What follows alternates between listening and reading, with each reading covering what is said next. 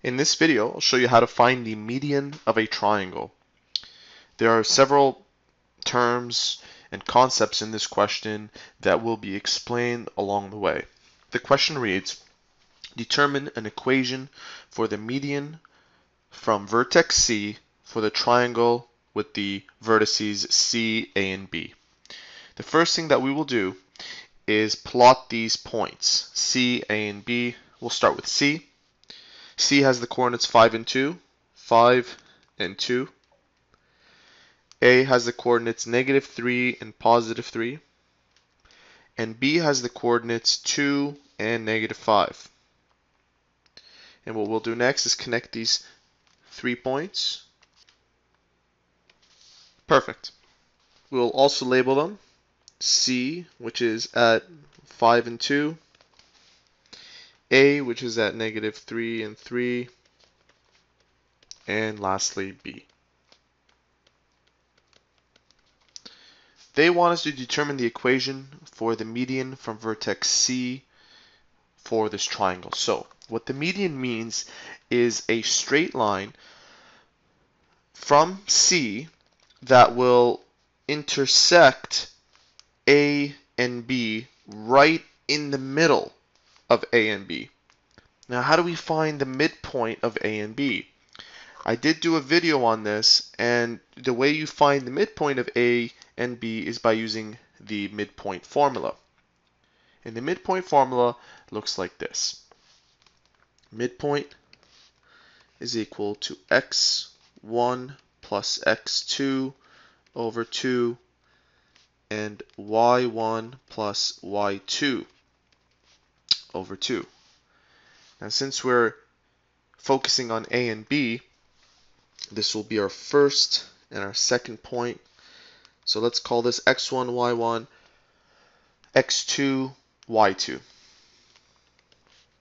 Negative 3 plus 2 over 2 and 3 plus negative 5 over 2 equals, start with the x coordinate, negative 3 plus 2 is negative 1 over 2. And over here, 3 plus negative 5 is equal to negative 2 divided by 2 is negative 1. What that means is that at this x and y coordinate, this point is at its midway. And so if we look at it visually, it sort of makes sense. That point right there would be considered your midpoint. Now the question is asking, determine an equation from the median, which is this midpoint, to the vertex C. Now keep in mind that by cutting this line segment in half, you have two equal portions. So what we have to do next is create a line segment equation that connects M to C. And the way we do that is we use the skeleton for a line equation, which is y is equal to mx plus b, where m signifies the slope and b signifies the y-intercept. We'll start off by trying to find the slope. And the formula for slope, and I do have a video dedicated to this, is m is equal to y2 minus y1 over x2 minus x1. I'm going to use m and c exclusively for my y and x values. Since this is my first point closest to the left, I'm going to call this my first, and this will be my second point. That said, the coordinates here will be x1 and y1, and the coordinates here will be x2 and y2. So let's fill that in. 2 minus negative 1 and x2, 5, minus x1, which is negative half, gives us the answer. 2 plus 1 is 3 over 5 plus half, two negatives make a positive, is 5 and a half, and that is equal to in fraction form as 6 over 11. So let's run with that. Let's fill this number in that represents our m value. Let's fill that in into our growing equation for the line. 6 over 11 x plus b. Now to find your b value, which is representative of your y-intercept, you have to use one of the points that is already provided to you. And there are only two points that have been provided, and that's m and c. So you can apply those coordinates to your equation and solve for b. So let's use 5 and 2.